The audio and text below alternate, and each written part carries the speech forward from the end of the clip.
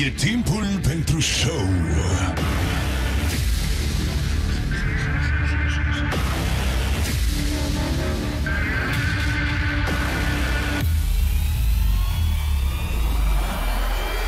Eroii se întorc în arenă.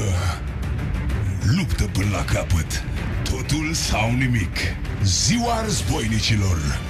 Dynamite a Fighting Show. Pe 10 martie, în direct, pe ProX și Sport Extra.